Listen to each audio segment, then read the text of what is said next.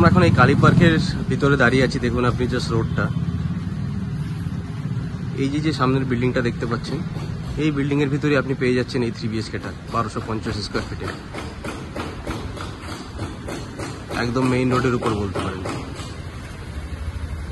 খুবই সুন্দর পরিবেশ, একদম এয়ারপোর্টের পাশেই। মাত্র পনেরো মিনিটের ডিস্টেন্স আপনার এয়ারপোর্ট এখান থেকে, পনেরো থেকে দশ মিনিট আপনার ছাদ থেকে এয়ারপোর্টের এয়ারপোর্ট দেখা যায় আপনার।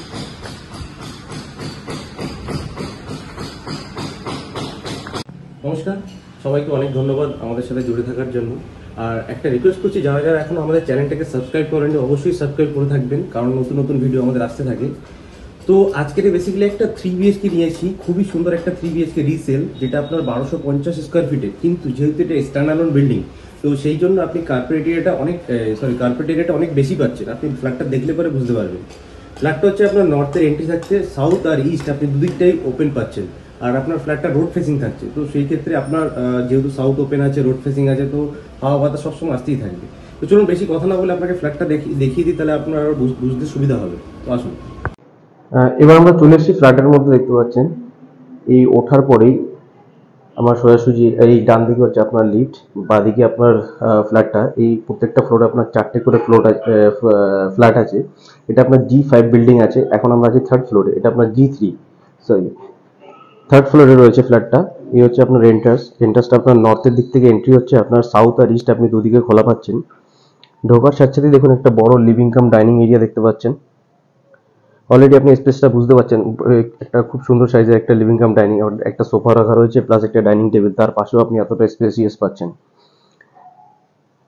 এর সাথে আপনি একটা পাচ্ছেন কমন টয়লেট দেখুন কমন টয়লেটটার সাইজটা যথেষ্ট বড়, উপরে একটা লফ করে দেওয়া হয়েছে, যাতে আপনি আপনার এক্সিস জিনিসপত্রগুলো রাখতে পারেন।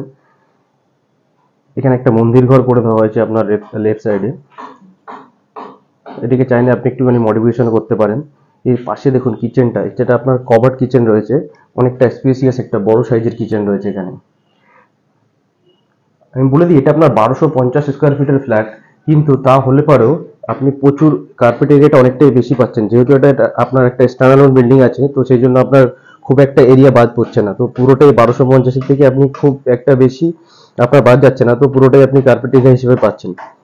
এটা হচ্ছে এখন মাস্টার বেডরুমে ঢুকছি। দেখুন মাস্টার বেডরুমটা সাইজ আপনার অনেকটাই বড়। কমসে কম এটা আপনার একশো তিরিশ থেকে একশো চল্লিশ স্কোয়ার ফিট মতো হবে। কারণ দেখুন, একটা কিং সাইজের ম্যাট্রাস রাখা আছে। তারপরও আপনার এতটা স্পেস পাচ্ছেন আপনি। ওখানে একটা আপনার সোফা কাম বেড রয়েছে, একটা সিঙ্গেল বেড বলা যায়। তো এটাতে আপনি ক্রস উইন্ডো পাচ্ছেন। আপনার ভেন্টিলেশনের জন্য খুবই সুবিধাজনক। এখানে আপনি একটা অ্যাটাচ বাথরুম প্লাস একটা অ্যাটাচ ব্যালকনিও পাচ্ছেন।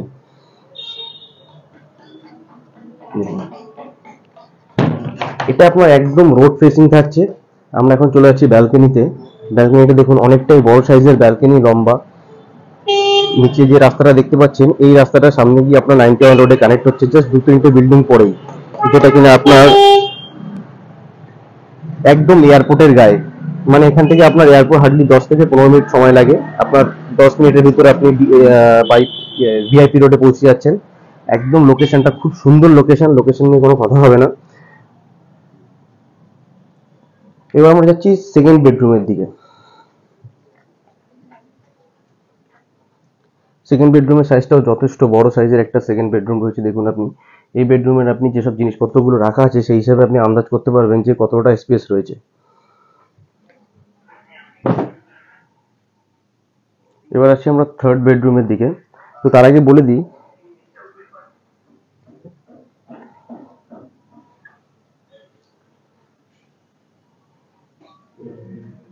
এই বেডরুমে একটা কিং সাইজ বেড রাখা রয়েছে।